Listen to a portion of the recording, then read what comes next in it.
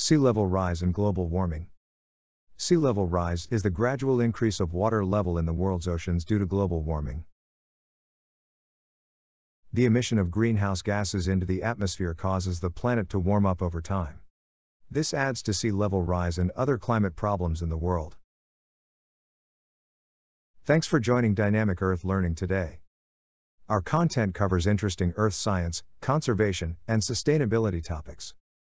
Visit our website dynamicearthlearning.com for teacher resources, videos, and e learning courses. Now let's learn more. What causes sea level to rise? The causes for sea level rise may vary from one place to another. However, melting glaciers and thermal growth are the main drivers of sea level rise in the world. Sea level rise due to global warming. First, melting glaciers. A glacier is a large body of ice formed over a long period of time. It can take up to 100 years for a glacier to form. The largest glacier in the world is found in Antarctica. Greenland has the second largest ice sheet on the globe. Since the temperature levels on the planet are rising, the glaciers found in these regions are continuously melting. When ice melts, it turns into water and flows into the ocean.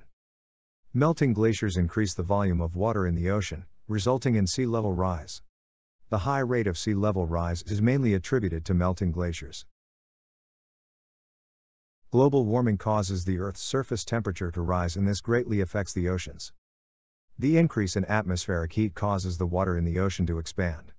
This happens because the world's oceans absorb over 90% of the heat that is brought about by global warming. As the ocean water expands, the sea level rises. Due to the effects of global warming over the past century, the ocean is expanding rapidly. Water is slowly invading coastal cities, thereby causing serious problems in different parts of the world. Other causes of sea level rise.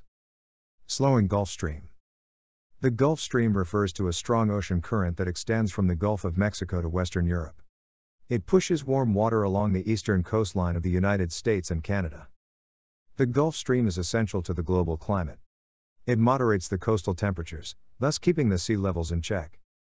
Recent studies show that the Gulf Stream has slowed down due to climate change. This may bring about unprecedented changes in the weather patterns along the coastline. Sea levels, especially in the Atlantic Ocean, are expected to rise as the Gulf Stream continues to slow down. Land subsidence. Land subsidence can be defined as the sudden or gradual sinking of a large mass of the Earth's surface. It is a common phenomenon in coastal areas. When land that is bordering the ocean sinks, it can lead to a rise in sea level. This increases the chances of flooding in these areas. Land subsidence mainly occurs due to human activities. The removal of subsurface water from the ground greatly adds to land subsidence. The sinking of land can aggravate the problem of sea level rise. Many coastline cities are sinking due to subsidence. Sea level rise estimates. The rate of sea level rise is increasing at an alarming rate. As the planet gets warmer, the world's ice glaciers are being melted and the ocean volume is increasing. Since 1880, the global sea level has risen between 8 to 9 inches. Research shows that the rate of sea level rise has more than doubled. Each year, the volume of the ocean increases by a few inches. The change in the sea level may seem minimal, but it can cause catastrophic events. It is estimated that the global sea level will rise by not less than 12 inches above 2000 levels before the year 2100. This only applies if greenhouse gas emissions are minimized. A high emission pathway may worsen the problem of sea level rise. The sea level is estimated to rise by about 8.2 feet above 2000 levels by 2100 if global warming is not mitigated. The rate of sea level rise by year varies depending on climatic conditions. Between 1880 and 2013, the global sea level rose by about 0.06 inches each year. The 20th century has witnessed a global sea level rise rate of between 0.12 to 0.14 inches per year. Sea level rise New York. New York is one of the major cities that is threatened by sea level rise. The sea level in New York's coastal areas has risen by approximately 9 inches since 1950. According to scientists, the sea level along New York's coast is rising by about 1 inch every 7 to 8 years. Land subsidence and slowing of the Gulf Stream are the main causes of sea level rise in New York. More water is left on the East Coast due to the slowed movement of the Gulf Stream. Large chunks of New York's coastal land are gradually sinking into the ocean. Due to the rise in sea levels, the coastal areas in New York often experience flooding during winter. The sea level rise in New York is expected to accelerate in the coming years. Consequences of sea level rise Rising sea levels affect humans and the environment. The water in the ocean can impact terrestrial organisms in countless ways. Coastal erosion. The rise in global sea levels increases erosion in coastal regions. Several beaches around the world have been eroded due to sea level rise. Increased salinity. Salinity refers to the amount of salt in a water body. Ocean water contains a lot of salt. If the ocean expands, the salt water can contaminate subterranean aquifers on land. Coastal flooding. Coastal areas experience flooding on regular basis.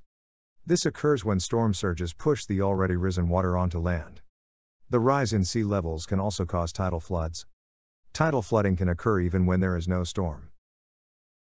Solutions for sea level rise Sea level rise results from global warming. And global warming is caused by the greenhouse effect. The best way to counter sea level rise is by reducing greenhouse gas emissions into the Earth's atmosphere. Without greenhouse gases, the glaciers won't melt at an enhanced pace. Additionally, the ocean won't absorb too much heat from the atmosphere.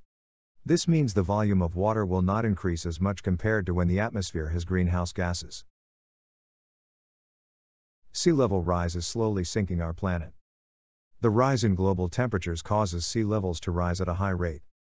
Sea level rise affects both marine and terrestrial ecosystems. Cities located in coastal regions are slowly being engulfed by the ocean as the planet continues to warm. If the emission of greenhouse gases is not reduced, the planet will lose its ice sheets and glaciers. Consequently, coastal areas will be fully submerged underwater due to the increased ocean levels. Thanks for joining us today. Consider following Dynamic Earth Learning for more Earth science, conservation, and sustainability topics. And visit our website dynamicearthlearning.com for teacher resources, videos, and environmental e learning courses.